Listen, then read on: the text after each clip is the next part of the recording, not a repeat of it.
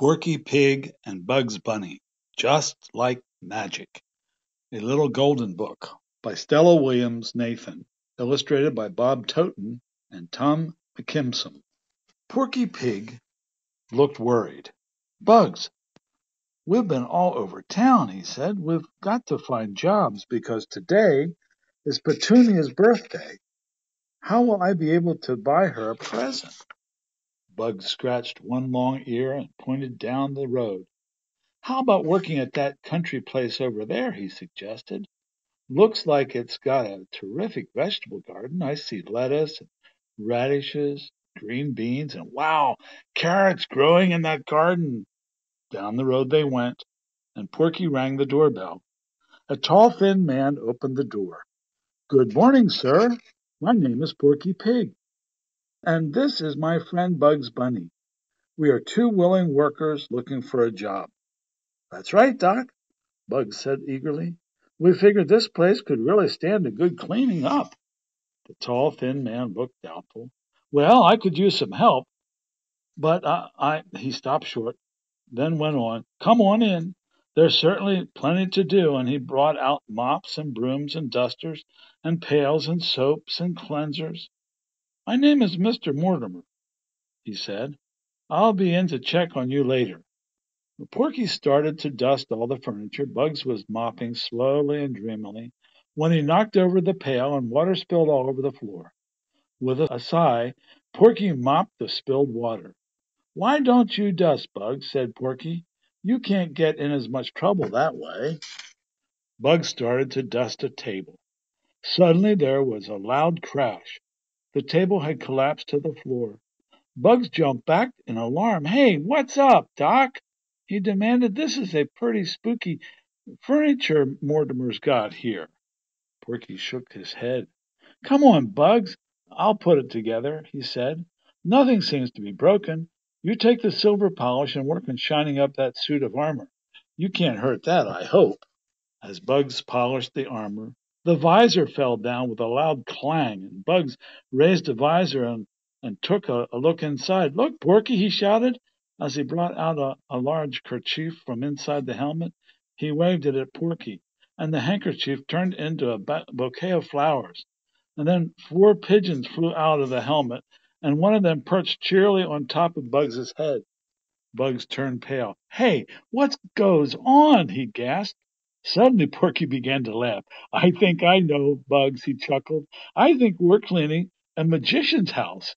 He'd use pigeons in that his act. You're right, Bugs looked very relieved. That breakaway table, that bouquet of flowers, those pigeons flying out of the suit of armor. Of course, I knew it all the time, Porky.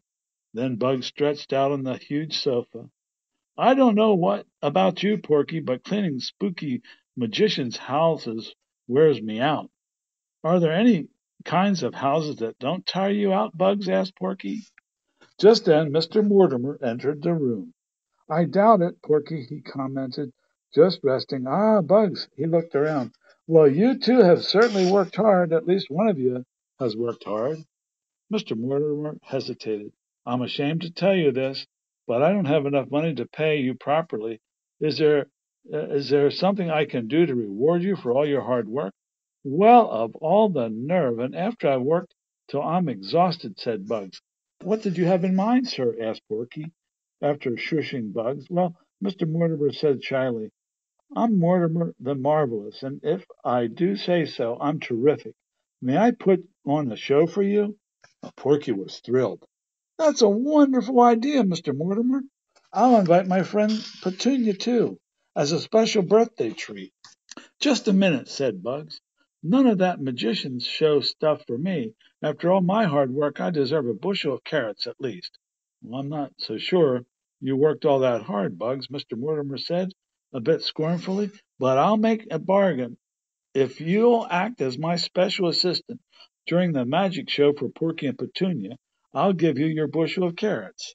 And that was how it happened that later that evening Mr. Mortimer the Marvelous reached into a hat and pulled out a surprised Bugs. Porky and Petunia laughed and clapped. Mr. Mortimer helped Bugs climb into a large trunk and then closed the lid. What's up, Doc? asked Bugs, and a moment later he crashed through a trapdoor. Porky and Petunia clapped again as Mr. Mortimer opened the trunk and showed that it was empty. A moment later Bugs came limping back into the room, and the magician told him to lie on the table. Rise, rise, Bugs, he chanted, waving his hands. Suddenly Bugs felt himself floating in the air, as light as a feather. No, no! Help! Help! shouted Bugs. Let me down! Please let me down! Mr. Mortimer clapped his hands sharply, and Bugs fell to the floor with a crash. Delighted to be of help, old boy, murmured the magician.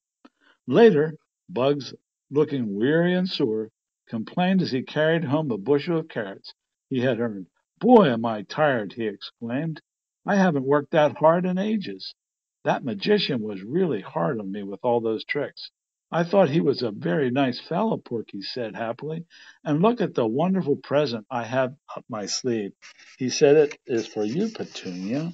Porky brought out a long, brightly colored scarf and handed it to Petunia. Happy birthday! Thank you, Porky, Petunia exclaimed. It's just beautiful. It will remind me of a wonderful evening. And down the road they walked, with Bugs Bunny carrots disappearing one after another, just like magic. Porky Pig and Bugs Bunny, just like magic.